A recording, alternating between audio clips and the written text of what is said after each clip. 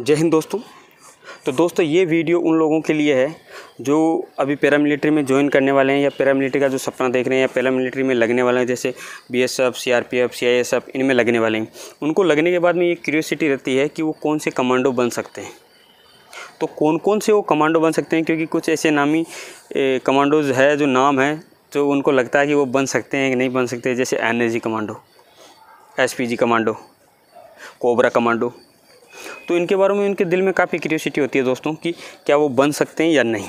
क्योंकि कईयों के आर्मी के फ़िज़िकल भी कई बार पास किए हैं, लेकिन पेपर में या कहीं ना कहीं मेडिकल में कुछ ना कुछ कमी होने की वजह से वो रह जाते हैं। तो उनके दिल में सवाल रहता है कि क्या वो कमांडो बन सकते हैं अब जाके? तो वो इस समय फोर्स को ज्वाइन करके क्या आगे कमांडो बन सकते हैं या कौन कौन से कमांडो बन सकते हैं? तो मैं बता दूँ दोस्तों कि पहले तो सभी एस के जवान एनएससी कमांडो बन सकते हैं। National security guard. एन जो ब्लैक हेड कमांडो जिनको बोलते हैं दोस्तों, वो बन सकते हैं। एसपीजी कमांडो बन सकते हैं। ये तो दो कमांडो ऐसी है जो सभी पैरामिलिट्री के जवान बन सकते हैं। अब स्पेशली कोबरा कमांडो।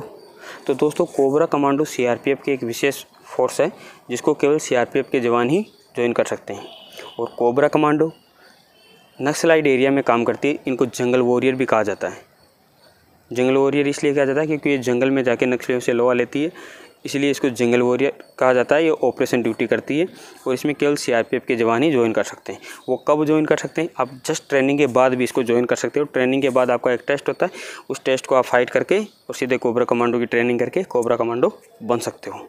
इसके लिए आपको और कुछ नहीं चाहिए। आप ट्रेनिंग में ही फ़िज़िकल इसका पास करके अपनी स्वेच्छा से कोबरा कमांडो बन सकते हो।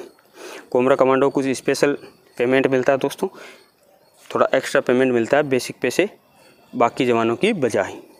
इसके अलावा जो बीएसएफ का है क्रोकोडाइल कमांडो दोस्तों। बी एस बी की जो स्पेशल फोर्स है, उसमें बनते हैं दोस्तों क्रोकोडाइल कमांडोज इन कमांडोज का ड्यूटी होता है पेट्रोलिंग और ऑपरेशनल ड्यूटी ये स्पेशल बीएसएफ के, इसमें केवल बीएसएफ के जवान ही जा सकते हैं।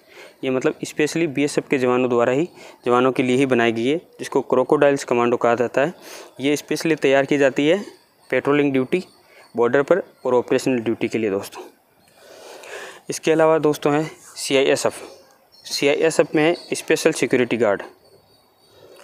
तो सर, दोस्तों सी आई इसमें केवल सी आई एस एफ़ के ही जवान होते हैं। ये specially C I S F की एक विशेष फोर्स है, जिसमें केवल सी आई एस एफ़ के जवानों को कमांडो बनते हैं, जिसका नाम है स्पेशल सिक्योरिटी गार्ड। इनकी ड्यूटी होती है दोस्तों, जो P protection. V I P protection, जैसे चीफ मिनिस्टर प्राइम मिनिस्टर या और भी होम मिनिस्टर, इन सभी मिनिस्ट्रेड या मतलब जितने भी देश में वी हैं, उनकी सिक्योरिटी के लिए ये कमांडो तैयार की जाती है दोस्तों। तो ये कुछ नामी कमांडोज है दोस्तों, जो एस एस के जवान बन सकते हैं।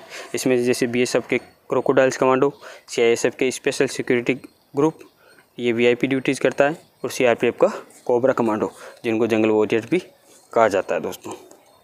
और एन और एसपीजी इसमें सभी जा सकते हैं। इसमें आर्मी भी इंक्लूड होती है दोस्तों। जय हिंद दोस्तों। और भी आप इससे संबंधित कोई जानकारी चाहते हो तो कमेंट बॉक्स में बताना दोस्तों। मैं आपकी ज़रूर सहायता करूँगा। और आपको कोई भी इससे संबंधित या फोर्स से संबंधित जानकारी चाहिए इस प्रकार की तो आप जुड़े रहिए मेरे चैनल से और नीचे कमेंट बॉक्स में कमेंट करते रहिए। जय हिंद दोस्तों।